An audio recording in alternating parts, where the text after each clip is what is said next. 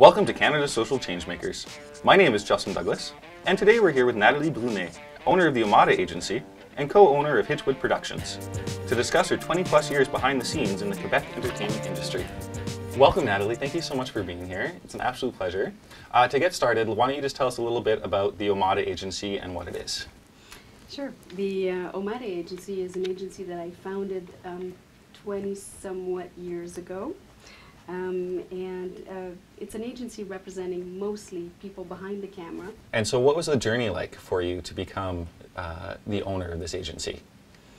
It was a um, um, perchance journey, I would say. Um, a very good friend of mine, a lawyer practicing in Montreal, uh, phoned me up. I was working in Toronto at the time. Um, and uh, phoned me up and said, you know what, I have this wonderful opportunity. I think you would be uh, uh, perfect uh, for that. And I said, sure, what is it? What is it? And he said, well, being an agent. Um, and I said, what does an agent do? um, yeah. But this one was, uh, this was a, a, very close friend of mine. So he said, you know, you would be perfect for that. So I came down to Montreal, met with this uh, wonderful person, Suzanne Vachon, um, and fell in love with the possibilities that this um, uh, job uh, could bring me. And I said, fine. I moved from Toronto to Montreal and just to start this wonderful journey. Um, and expanded the business and decided just this was my passion and that exactly was what I was looking for.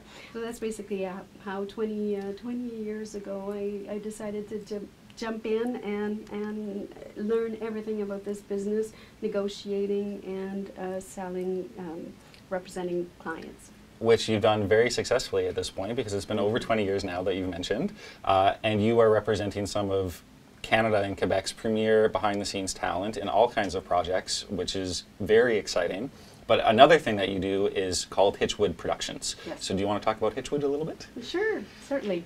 Um, Hitchwood was actually born out of the feeling that after 20 somewhat years, um, living from this wonderful industry that is the film and TV industry in Quebec, I wanted to give or to use all the knowledge that I uh, was able to uh, acquire over the years.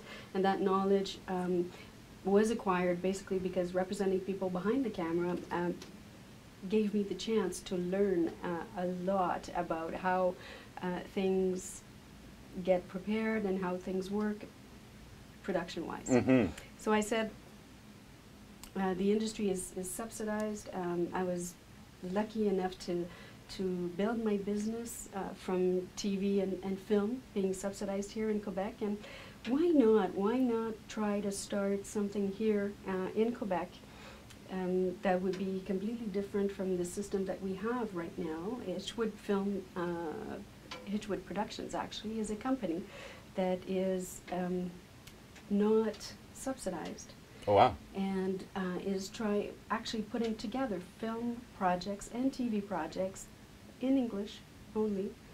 Um, but all the projects, the company is being based here in Montreal. Wow! And the uh, intention is to produce here, out of Montreal, in English for the international market, without touching the subsidies because we need those subsidies. We need them to, to stay. We need them to grow. mm -hmm, mm -hmm. And, and so uh, starting up a, another company trying to get, you know, trying to um, grab a, a, a, part, an additional part of subsidies was not a, a good idea. Right. So we decided to um, to take a, a big plunge and try to to, to see if, if that kind of a production uh, company house based in Montreal would work. And it's very unique because there's nothing else that exists like that in Montreal. To our knowledge, no. No. Um, you have um, um, production companies who do mostly TV uh, in English. Mm -hmm. yes, you have um, um, at least two different companies doing that already. Mm -hmm. But doing film, um, not to my knowledge. No. no, and it opens the possibility to so many projects being produced and filmed in Montreal and across Canada in general. So that is a very exciting prospect for someone like me who gets very excited when we get to tell our own stories and get to produce things in this country to sell to other places. So that makes me very, very excited. Uh, so what are some of the different projects and things that you've been working on lately?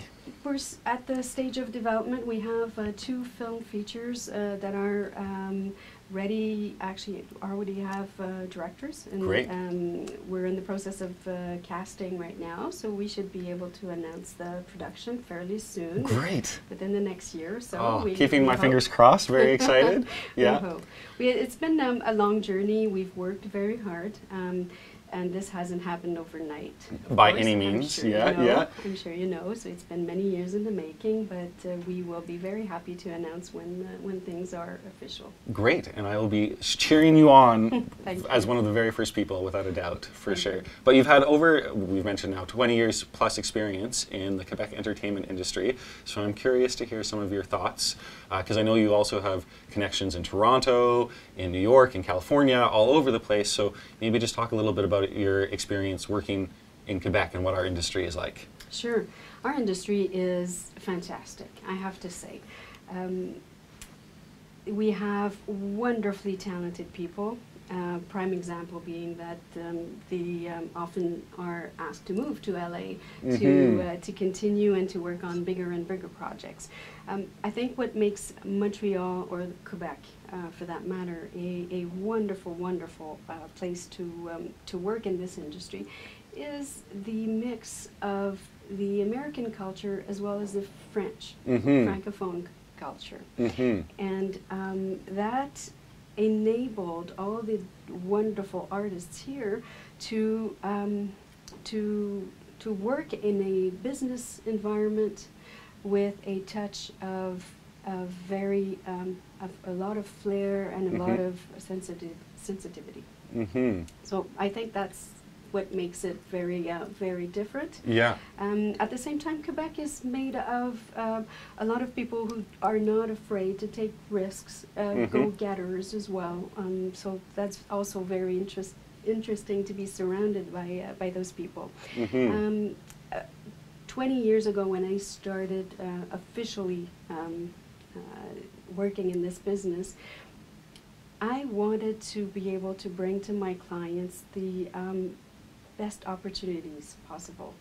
And some of the best opportunities were here in Quebec. Oh, wow. But a lot of them uh, also existed outside Right. of Quebec.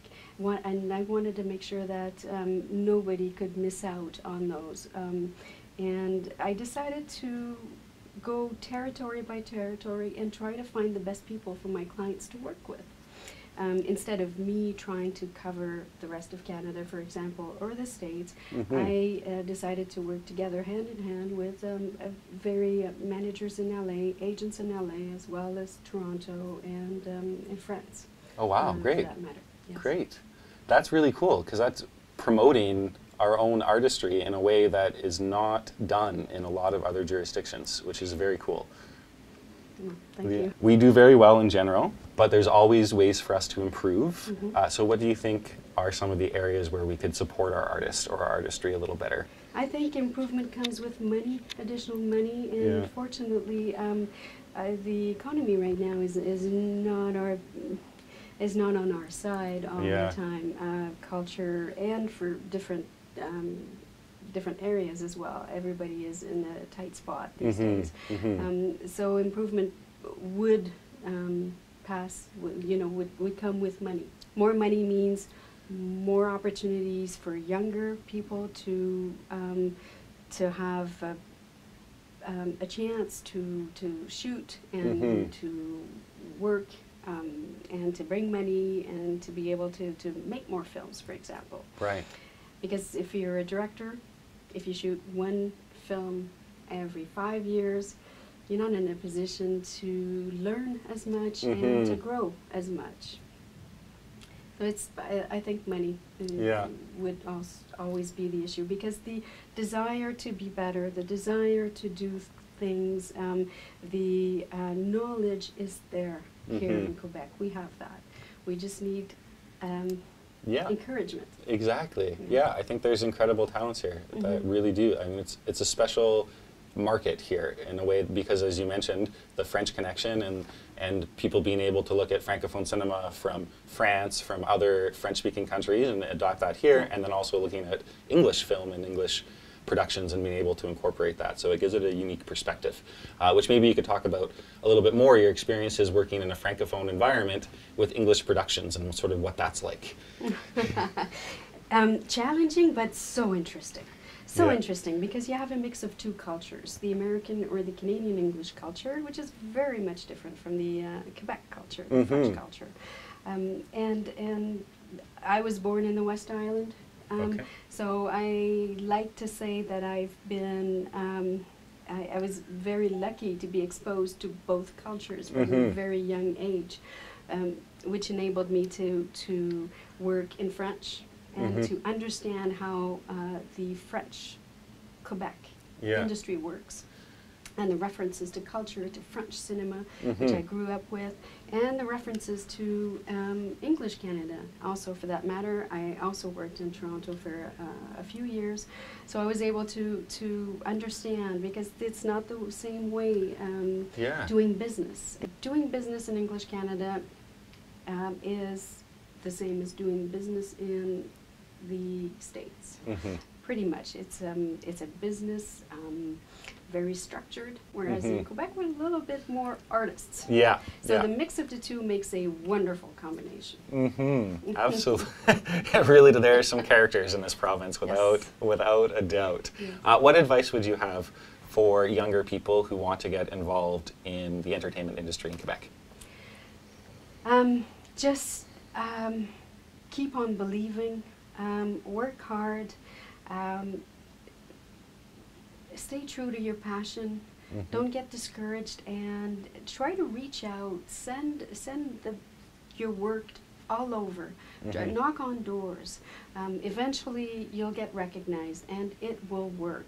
Right. There are there are periods. There are um, some years that uh, doing this is is a lot more difficult. Mm-hmm. But you have to hang on. The industry has always been up and down. It's always been, and it's on waves. And Mhm. um, but just like Churchill said, when you're going through hell, keep going. So Yeah. you just have to stay true to your passion and keep on believing. That's really good advice. uh, last question for you today. Um, when we're talking about Toronto versus Montreal versus all these different jurisdictions, one of the things that's really important to me that I keep emphasizing in all these interviews is being able to tell Canadian stories and, Mhm. and to share our own stories. And I'm wondering if you have any insights on working in the English film industry of how we can bring Canadian stories to life but still make it financially viable on, on the international scene. If I did have the answer, I think we we'd be rich. Yeah, exactly. We'd be telling our own stories already. Yes, Yeah. I think it's it's always a um, telling stories in this industry. Um, you get to cha- to tell your story by chance. Mhm. Um, you tell your story, and if there's people or the time is right for your story to be heard, then Mhm. it will be heard. It doesn't mean that your story is not good Mhm. at the time that you you want to um, talk about it. Yeah. But this industry is a lot about timing. Yeah. Um, so if your timing is right, then everything will, will work Mhm. uh, right.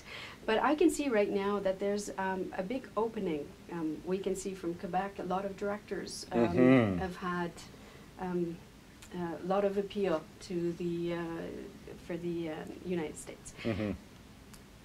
So telling the story that they've been telling has, has had um, actually the ear of the rest of the world a little bit more than, than we used to.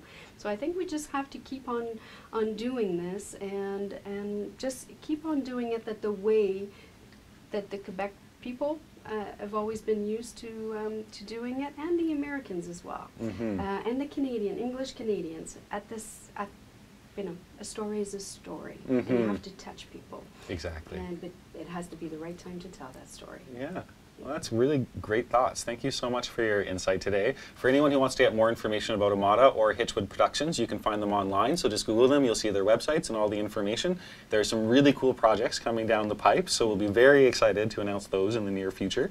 But in the meantime, thank you so very much for your time today. It's an absolute pleasure to get to speak with Canadians who are doing very interesting things and taking on a project like Omada and Hitchwood in a francophone market and really taking your artist to the next level is something that should be commended.